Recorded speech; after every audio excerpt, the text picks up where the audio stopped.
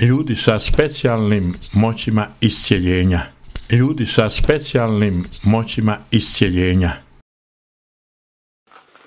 Evo ovako malo mladene da 10.000 pacijenata u Hrvatskoj liječi se alternativnom medicinom. Ovo je statistika koju sam skinuo sa sajta. Da, to je zvanična ovaj, statistika. Ja vjerujem da je tu broj još veći nego, nego što zvanično se i kaže. Zašto, zašto se ljudi obraćaju alternativnim? Zato što je e, ipak e, jako veliki broj, rekao bi, e, osoba koji se bave alternativom su vrlo ozbiljan pristup imaju tome. E, Šta znači taj ozbiljan pristup? Znači to da oni ljudima stvarno pomažu. E, alternativa, ja bi to postavio ovako, to je iscjeljivanje. Znači, jedna metoda bez e, grubih pristupa. Ja bi to tako nazvao. Šta znači? Ja ne, ne, ne, ni na koji način ne bi e, bilo kakvu ljagu na oficijalnu medicinu bacio. Oni imaju e, način i metode na koji način dolaze do, do ovaj određenih e, rezultata. Naravno, svi znamo, to je igla, to je ubod, to je rez, to je bolno. Tableta. Da, a dobro, tablete su nešto, sa, nešto do što dolazi poslije. E, govorim o onome e, da se dođe do određenog šta je čovjek. E, ono, opet se vratiti, alternativci uglavnom e, prepoznaju izvor problema i idu e, na taj način ovaj, rješavati izvor. E, vratio bi se na jednu drugu stvar, odnosno obratio bi pažnju na jednu drugu stvar. Po meni, e, 99% bolesti su psihosomatskog porijekla. Šta znači? Znači da osoba počne sumnja da je nešto, pa i sumnje preraste u ozbiljno stanje.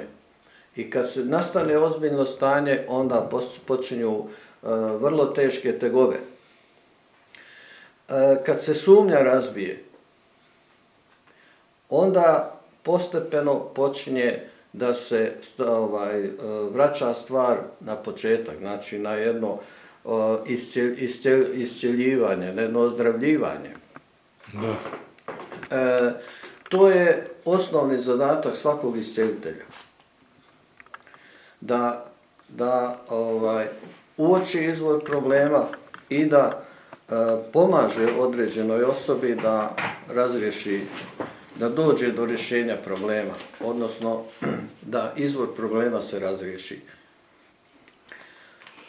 Tu, tu bi rekao da leži ovaj, tajna da se veliki broj osoba obraća ovaj, onima koji se bave ovakvim metodama. Tačno do prilog vašoj tvrdnji ide da u Hrvatskoj dijele 70.000 raznih alternativaca, a to je sedam puta više od, od ovih zvaničnih medicinara. Znači, potpuno se... I sljedeće je pitanje naših. Da, da, ovaj, moralo, moralo bi tu ipak da skrenemo jednu veliku pažnju. Da bi se ovaj, završile medicinske nauke, a, treba jako puno i truda i vremena. E, alternativa ti ili jesi ili nesi. Znači, ovaj, prepoznaješ e, unutar sebe e, tu mogućnost da možeš da pomogneš drugom ljudskom biću i onda ideš za tim da mu pomogneš. Koje metode i koje načine izabereš, to je tvoj unutarnji odabir. Odnosno prepoznavanje na koji način možeš najbolje i najbrže da nekom pomogneš. U Izraelu, u Izraelu 40 do 60% ljekara, svojih pacijenata, ljekari upuđuju alternativcima. Znači sve više se prizna alternativna medicina. Ma, naravno, zato što je to izvorna medicina. Ali i druga stvar, zato što je a, oficijalna medicina jako skupa. E, da bi se svaka pretraga traje, e, traje dosta dugo, zahtjeva dosta vremena, dosta truda, dosta istraživanja i jako puno ovaj, novca to košta. E, opet se vraćam, e, svaki, govorim o onima koji su stvarno ozbiljni alternativci, on će jednostavno e, prepoznat šta je toj osobi i ići će da djeluje ovaj, bez bilo kakvih skupih pretraga, bez tog ulaganja ogromnog novca da bi se došlo do, do ovaj, onoga šta je nekoj osobi, e, on, tu se rješava jako brzo. Naravno, u tome svemu treba poznavati i anatomiju. I fizičku anatomiju, znači anatomiju fizičkog tijela i rekao bi duhovnu anatomiju. To je jako bitno ovaj, koliko ovaj, da ta osoba spoji to dvoje unutar sebe, on, on može da postiže izvrsne rezultate. To je, rekao bi, jedan od razloga zašto se ljudi sve više i više obraćaju alternativnim, odnosno okreću alternativnim metodama, premda rekao bi da i farmaceutska industrija tu najveću kočnicu pravi. Zašto? Zato što ovaj, gubi tržište. Jer po meni je farmaceutskoj industriji najbitnije da imaju e, konstantnog potrošača. Vi kad jednom uzmete lijek za srce, vi ćete do kraja života mora taj isti lijek uzmati. Kod alternative ipak malo drugačiji pristup. Ide se srce iscijeliti, izliječiti, da on ne mora koristiti određene stvari koje su jako skupe do kraja života. Ili na neki drugi način jednostavno da ovaj, pristupi, da sebi olakša život ako dođe u takav problem, da ima neku srčanu manu, srčani problem i tako dalje. Kao jednog stamenog, iskusnog ima da sve zrelog čovjeka, htio sam pitati, da li se vi slažete, da li bi predložili da se alternativna medicina, bar neke metode koje su jako dokazane, pa i, i, i naučno i u praksi, finansiraju iz državnog budžeta? Ha, moram se na to nasmijati, ja mislim da je to nemoguća misija. U Hrvatskoj su već devet metoda alternativnih ministarstva zdravlja uvrstilo. Ali ih ne finansira, ali su ih uvrstili kao zvančno da se mogu baviti. Jeste, točno, ovaj, uvrstili su, ovaj, ali te metode nisu došle iz, iz Hrvatske, te metode su došle sa strane, sa, iz drugih podnevlja, ovaj, kroz razne vid školovanja koji je usvojen ovdje. Na kraju krajeva je vrlo teško, vi nemate ovaj, takvu vrstu školovanja da, da kažemo aha, to je škola za alternativnu medicinu. Jer to je prirodna medicina. Jezik statistike ne umoju i on govori da 85% pacijenata koji se liječe iscijeljuje se alternativnim metodama. To je točno. To je točno. Ma, pazite jednu stvar, ja ću vam reći. E, osoba koja dođe e, u probleme, znači koja dođe u zdravstveno probleme, ako ona u datom momentu ovaj, ne naiđe na osobu koja će predložiti da iz temelja promijeni način svog života, znači mora iz temelja promijeniti filozofiju života, od načina ishrane, od ponašanja, od društvenog ovaj, reagiranja prema društvu prema, i društva prema njoj, ako ne promijeni to iz temelja, sigurno da neće doći. Nema te, te metode, ni alternativne, ni oficijalne, da će, da će doći do uspješnog rješenja svog trenutno stanja u kojem se nalazi. Znači, e, u svakom slučaju, ja uvijek volim to napomenuti i reći, svaki čovjek je sam sebi najbolji ljekar. Samo, samo je stvar u tome da on, e, ako ne zna da prihvati neka upustva, na koji način e, da počne da mijenja sebe. Ono što je najvažnije, to je da, da počne da mijenja ovaj, ili da odbacuje navike koje su ga dovele do tog problema. Ako to uspije, on će u svakom slučaju ovaj, uspije da izađe iz svog zdravstvenog problema u kojem se našao. Koje su vaše provjerene metode kojima se služite kada pružate pomoć ljudima? Pa, e, metode koje, kojima se ja služim, ovaj, e, kako da bih pri, e, približio, odnosno kako, ovaj, ja sam osvojio davno ovaj, sistem i tehniku e, preporađanja, koje se zove. Što znači? E, rebirting. E, što znači da e, prepoznaje osoba koja se obrati, znači prepoznaje kad je problem nastao. E, mi i ne slutimo vrlo često da problemi nastaju pri momentu rađanja može da nastane. Može u najranijem djetinstvu, u tijeku života i tako dalje. Ovaj, ja to prepoznajem, ja to vidim kod osobe. I naravno, ovaj, tom tehnikom preporađena nastojim da osoba dođe do izvora problema. Da jednostavno raspline, jer vi dogod u svom nesvjesnom imate isti signal koji vas e, stalno navodi na istu stvar, vi nećete riješiti problem. Znači, e, samu osobu doveden do toga da ona jednostavno spozna, aha, ovaj, to je to, e, kad je problem nastao i vjerujte, jednostavno posljedice same poslije toga nestaju i otpadaju. Naravno, za sve treba vrijeme, ali u svakom slučaju svaka osoba istog momenta kad spozna kad je problem nastao, istog momenta osjeća promjenu.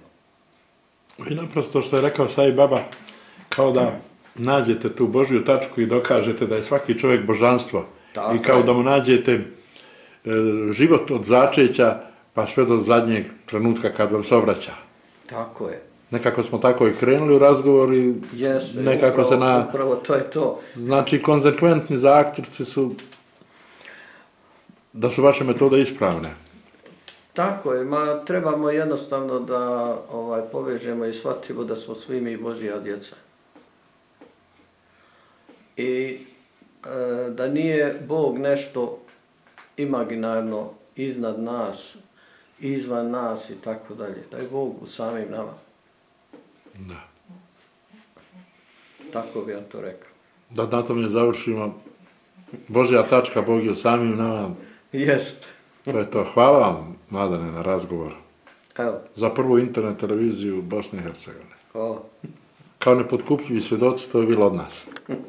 Unutar e, sebe, rekao bi, unutar srca ima božansku iskru. E,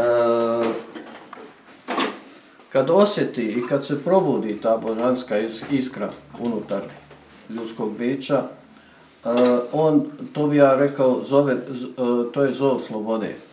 Znači, e, ima jedan duboki osjećaj da želi biti slobodan. Jer ljudska duša je slobodna.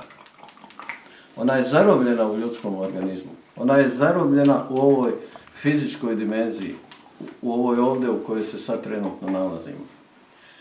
A, znači, moramo malo govoriti i o nekim dimenzijama, spominjati to. Da se vratim na alternativu.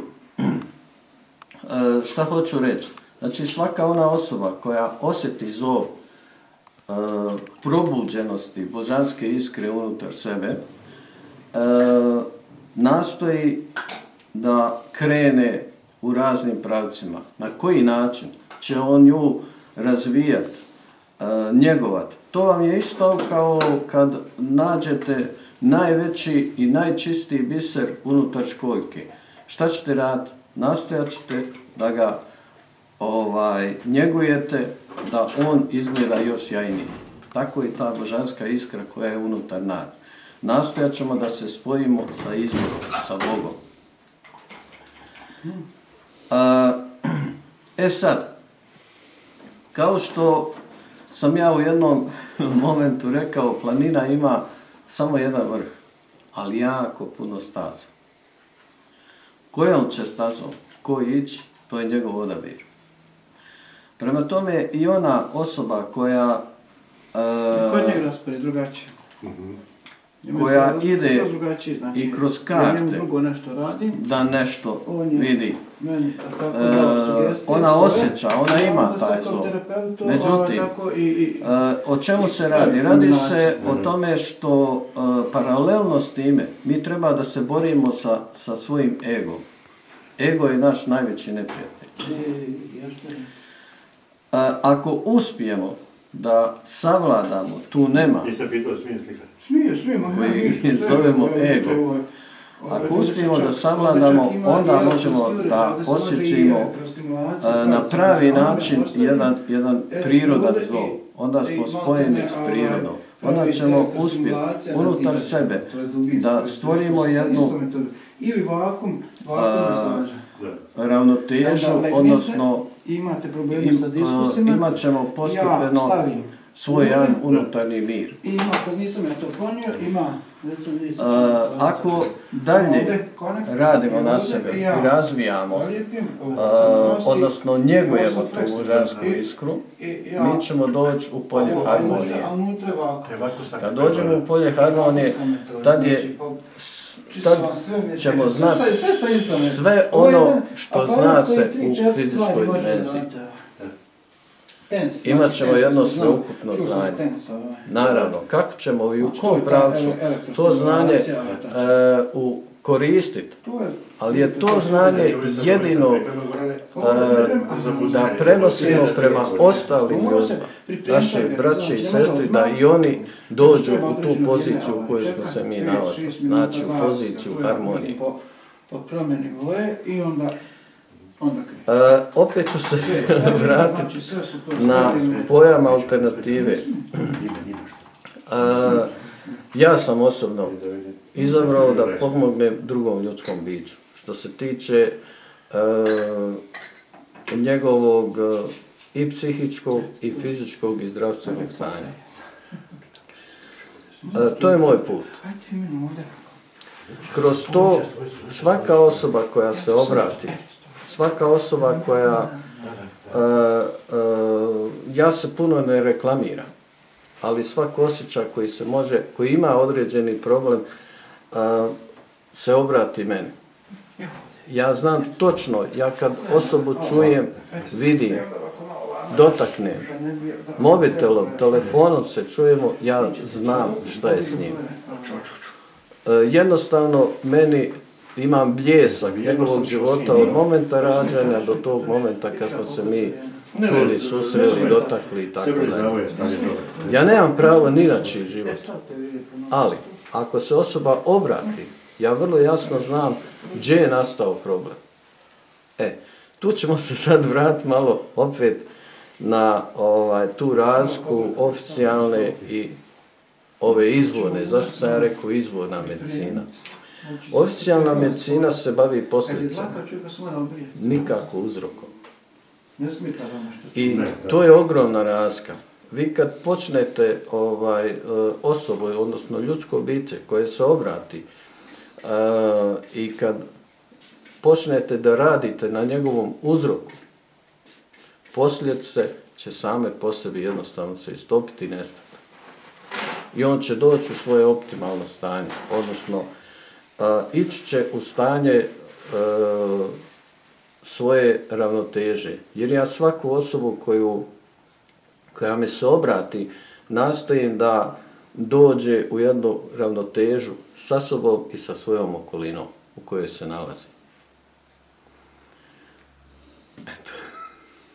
Ako imaš još... Pa dobro, ima tamo sam ja dežurni pitanja spremio, ja Dobro, ajde, ši- čitaj, malo pa širu elokvenciju, ali moram to da, da sažmem. E. Jer smo temeljni isceliteljski čin je refleks dobrote. Tačno. Šta bi bio to- sa i baba bez toga? Pa ne bi bio Said Baba. Dobro, pa ćemo malo nastaviti kasnije. Mislim da to jednostavno baš nije. Imaju veliko i dobro srce, ali jako puno naivnosti. I najgore je što vjeruju ovaj, trulom kapitalizmu, što su počeli da vjeruju. I to je praktično se ovaj, prouzročilo, odnosno taj kapitalizam kome je trebalo da se proširi i da nađe tržište novo. Jer pogledajte sad, mi nemamo nigdje u, na prostorima bivše juge, odnosno rekao bi Balkana, vi nemate nigdje proizvodnje nikakve. A bili smo zemlja sa vrlo, vrlo prosperitetnom proizvodnjom. U svim razinama tehnike i nauke. Jako sposobni ljudi. Još bi dodao jedno. Ovo podneblje Balkana rađa genijalce. E, evo, sad bi našao jednu usporedbu. E, u bivšoj državi e, bili smo vrlo kotirali u svim vrstama sporta. U futbalu, u košarci, u odbojci i tako dalje. Razbili smo se u pet državica. Opet vi pogledajte. Ovaj, isto jako imate uspješne sportiste i u futbalu i u svim ostalim ovim disciplinama. Svi su u svjetskom vrhu. Kogod krene da se bavi nekom disciplinom a, i ozbiljno se posveti tome, on jako brzo dospije u svjetske razine, svjetske vrhe. To može samo da, da, da ovaj, potvrdi ono što sam rekao, da na ovom tlu, na ovom podneblju se rađa jako puno talenata i genijalaca.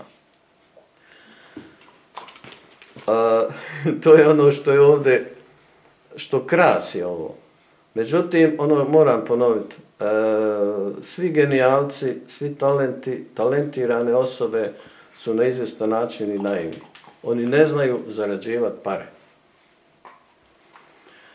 E, nažalost, taj talenat i to sve, oni što, kori, što znaju, što imaju, a, kor- koriste, drugi koriste kapitalisti i ovaj, Mhm. To više kad jednostavno e, ako i ovi genijalci e, dođu do te razine da ne žele da ih koriste kapitalisti, onda dolazi do sukoba.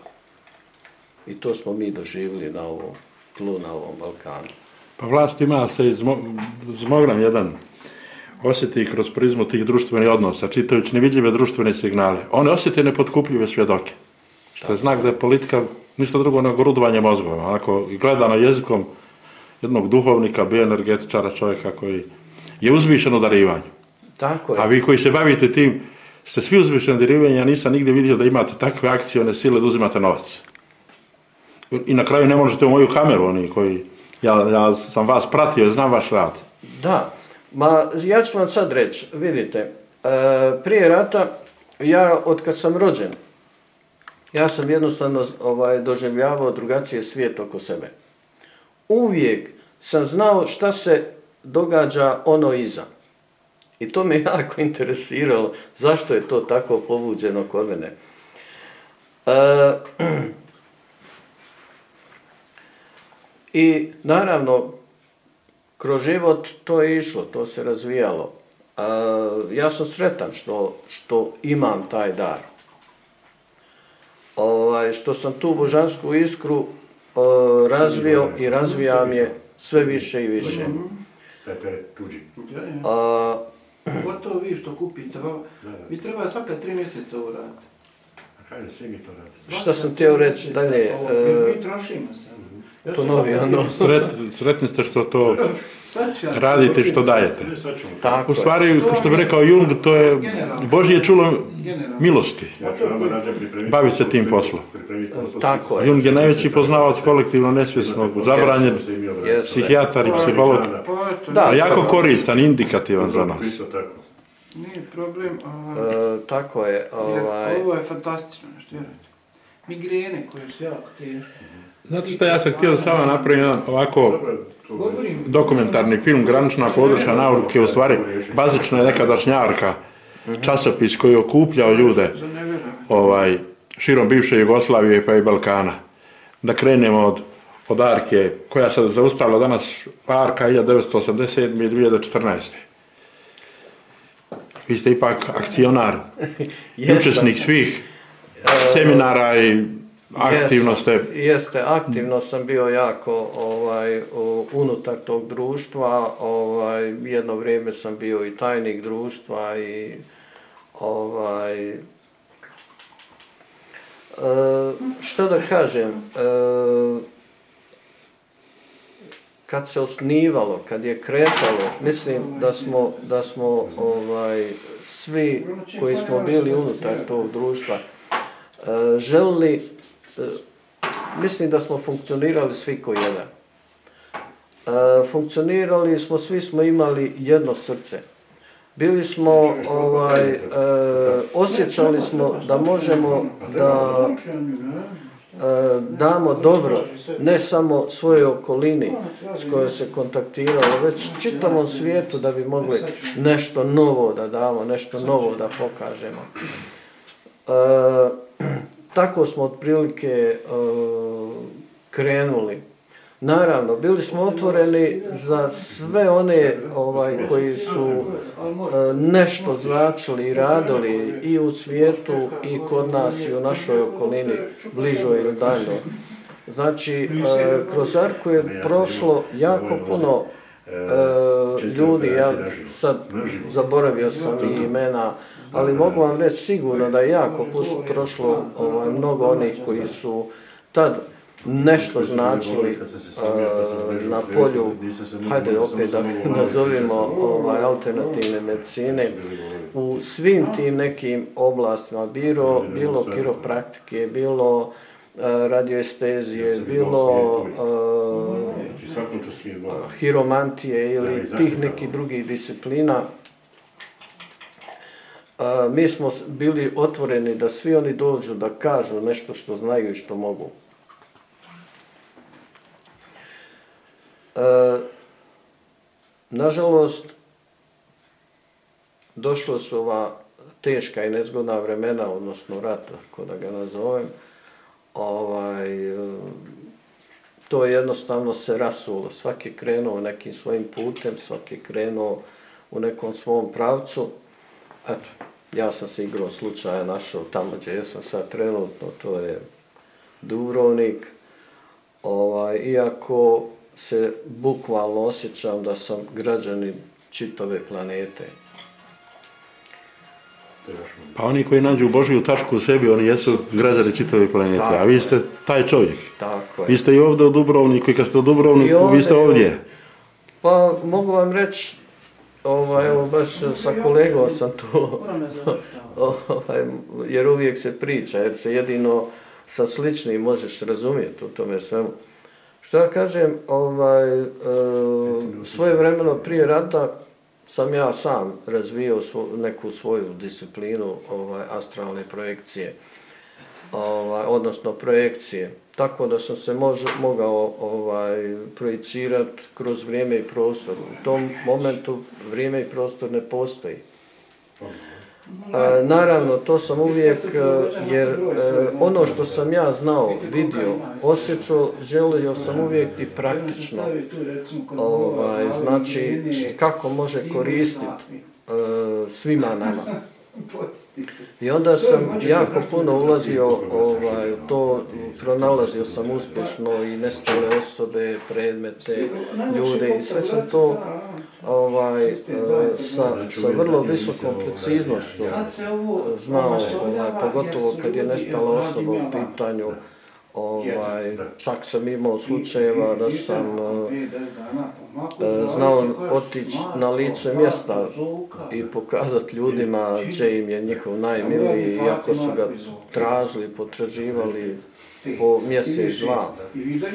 Ovaj, E, to se naravno, kad se počela ova rata dešavanja, onda sam sve manje i manje ovaj, prekinuo sam sa takvom vrstom ovaj, aktivnosti. iz eh, najprostijeg razloga što sam sve više i više ja se osjećao ugrožen. Tako da jednostavno sam povlačio su jednu vrstu anonimnosti,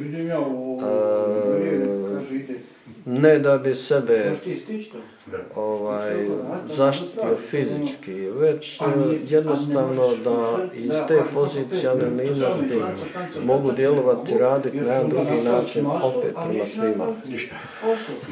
Na izvjestan način pokušati donijeti neko dobro.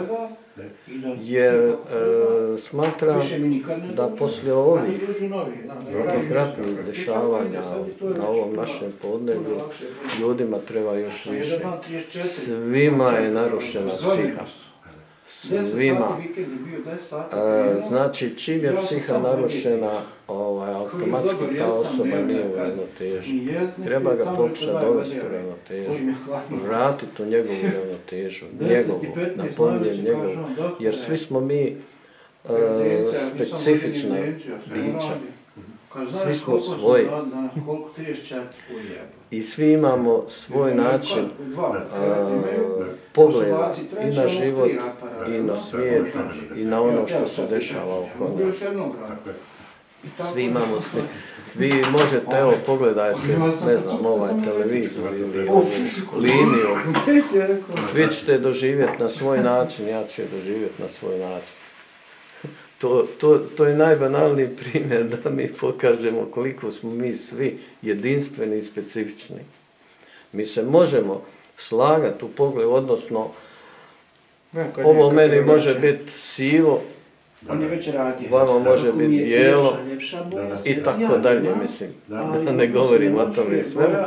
Ali e, ako ja shvatim da je to vaše viđenje, to je vaše viđenje, to je vaš doživljaj, to je vaša emocija. A ovo je moja emocija. I to je to. Ako mi shvatimo da tako funkcioniramo, onda ćemo imati jednu apsolutnu harmoniju, onda ćemo imati jednu apsolutnu ljubav, Da. Evo, vidite, sad ćemo 20 dana. što je svima Ne, potrebno. njemu ne treba više. Njemu ne treba, vama treba. Imate li osjećaj da je posle rata da su naše duše okačene na štrikove i da taj refleks dobrote i dodira ljudske ruke jako potreban i sam za opstojanje društvenih odnosa. Izgubile se kohezijone sile svakog oblika zajedništva. U nadirućem svetom siromaštvu, višku nema i uništavanjem fabrika. To smo mi govorili, to ste govorili vi, ja sjećam u. Pisao sam i ja, ali nije niko slušao. Tako je. Ma, e,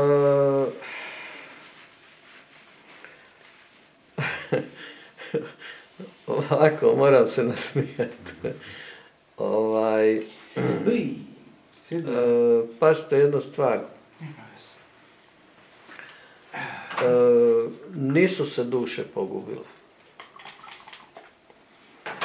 E, jedino e, ono što je što je možda što bi napomenuo to je ovaj taj jedan kruti i teški materializam koji je sad prekrio ove prostore ovaj, koji je stvorio e, jednu vrstu pohlepe. E,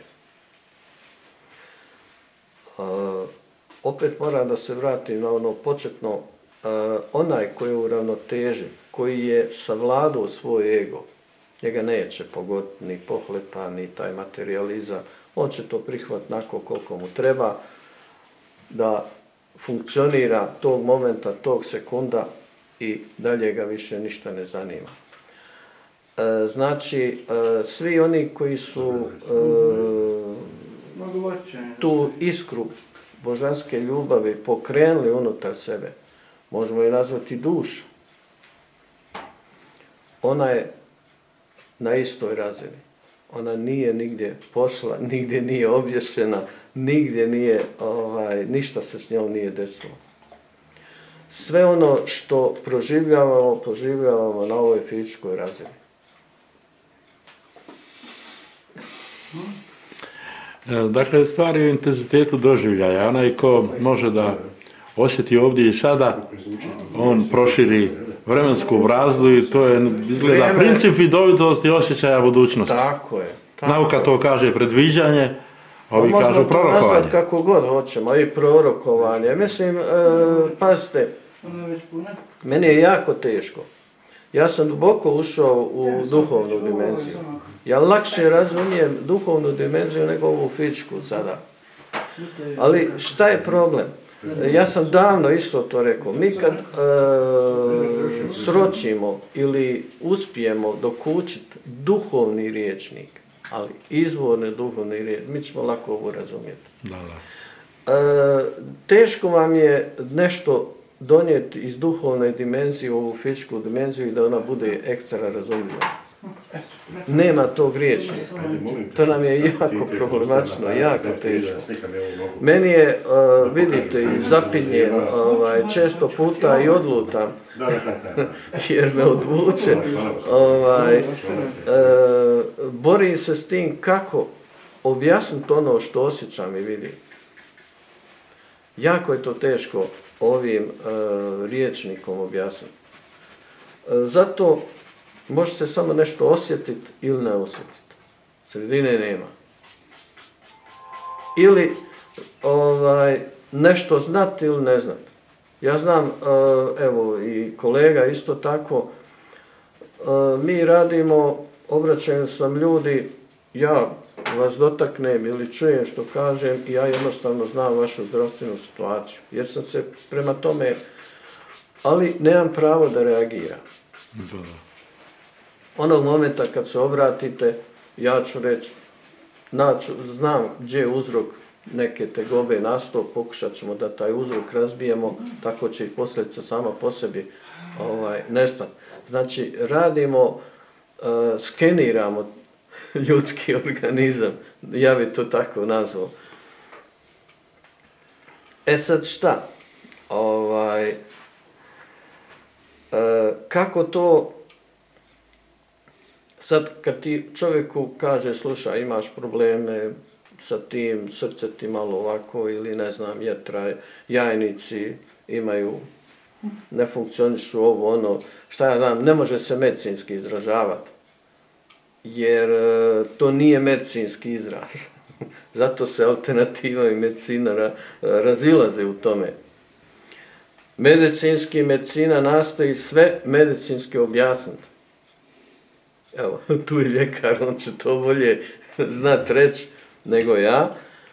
Ali mi doživljavamo ljudski organizam. E, I tu je, ljudi znaju reći, jo, pa kako, kako ste pogodili? A ja nisam pogodio, to je tvoje tijelo meni reklo. I tako dalje. Mislim, e, naravno što ste malo prije rekli, ovaj, e, ta neka vremenska barijera ne postoji. Mi smo istovremeno i sad i ovdje i, i na bilo kojem dijelu planete možemo da budemo. Samo ako to znamo. E, ovo bi stvar možda, kad ste već, kad spominjemo duh, duh ima fantastičnu moć. Mi toga nismo ni svjesni. I kad bi e, pustili naše tijelo da vodi duh, bi bi daleko drugačije funkcionirao. Samo ću vam jednu stvar reći. Ja sam osobno, kažem vam opet, E, sve što govorim osobno sam prošao i probao. E, jedno 5-6 puta sam uradio ritual vatre, što bi govorili. Znači, hodanje po žaru.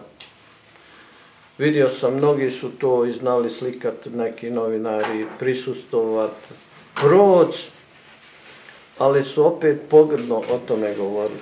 Nisu razumjeli. Ja ih ne krivim, nije to ništa.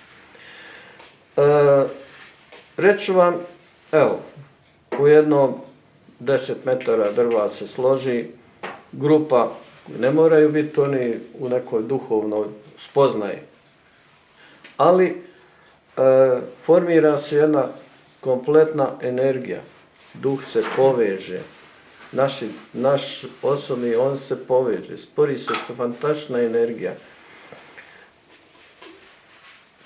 Kako će to doći? Da li ćemo mi plesat oko vatre, skakat, ovako, plakat, turlat, nebitno. A, bitno je to povezivanje. Stvori se fantastična energija. Izgori sve, e, prostre se žar, znači razosle se, to je negdje otprilike 3 metra sa 3, ajde ja tako ću reći, 10 metara drve, koliko može, žar je dubok desetak cenata i svi bosi jedan po jedan prolazimo, vraćamo se, prolazimo, ja sam po desetak puta prošao, ovaj, poslije toga ništa nema opekotine. Naravno, ovaj, e, prvi put recimo kad prolaziš stvarno se prepustiš i prođeš. Ono što je bitno, bitno je da, da ovaj, eliminišeš, odnosno kroz to spajanje i stvaranje tog jednog energetskog ovaj, zajedništva, e, stvori se stvori se taj izgubiš tu fizičku dimenziju praktično. Ja sam e, prvi put kad prođeš, stvarno si u tom stanju svijesti, jednostavno ne znaš jesi prošao, nisi prošao, prošao si. Jer neke snimke to govore. ovaj, ali recimo drugi i treći put kad sam ovaj, išao ponovo se vrat pa opet prolazit, onda sam e, koncentrirao se da vidim šta ću osjetiti. I onda sam imao duboki osjećaj kao da su mi na tabenima jastučići. Zračni jastup. Tako sam kao da fizički ne hodam po tome. E, 900 stupnjeva toplota. Znači, goriš. Ništa nisam osjećao. E, samo to napominjem ne da bi se hvalio, e, ja sam prošao pa jebi ga, to je to. Ne, već e, hoću da napomenem kolika je ta moć duha. Kad uđeš u duh, kad dozvoliš da duh vlada fizičkim tijelom. Naravno, uobičajeno je da je obrnuto. Duh što stvori življe od materije, očito. Da. Što kaže Jung, ko gleda unutra vidi svijet, ko gleda vani ne vidi ništa. Ne vidi ništa. To je. Ja sam sve proučavao, ali na kraju sam se zaustavio, ukotvio u Jungu, ne može se. Ne, Znači, evo i kolega, evo, kakva je ovo slučajnost? Pravim prilog o alternativnoj medicini za prvu internet televiziju Bosne i Hercegovine, doktor radi čovjeka koji je duhovni celt. Vi naravno ste tu. Ja sam jedini književnik i Vesna Krmpotić u Hrvatskoj koja se bavi tim metodama i pišemo, ona je bila sa Sai Babom, ja nisam. Ali, ka, znači, slučajnost uopšte nije slučajna. Ništa Ne. nije slučajno. Ta energija prostora ovdje, ja, ja gledam, čovjek je pacijent, doktor je doktor, ali, ali su bili povezani. Pazite. U istoj, u istoj napadnoj tačci. Tako je. Pa evo, Napadaju bolest, obojica, ne- jednako. E, vidite ovo. A krv samo od sebe govori, doktor pokazuje, kamera snima. Ni- Nikakve tu nema tajne. Da, ali zar, zar e, se ne prepozna i ne osjeća se da smo mi e, ovog momenta jedno tijelo? Da, Ovo je pun dobro. tačno, to je. To je to. Potpuno ste u pravu. E, Tesla je rekao da jedna misao može odrediti kretanje cijele vasione. Ja sam kandidat za doktora u parapsihološkom institutu psihoenergoinformacioni nauka. Ovaj, Bog mi je rekao vam ispunio sve želje i meni je najdraži razgovor sa Ana. Ja sam jedno vrijeme imao osjećaj kad smo mi ono držali spojene ruke na Iliđi, da smo mi mogli zaustaviti rat. A ko nas je pitao Čoliću? Ne. Kasnije zavod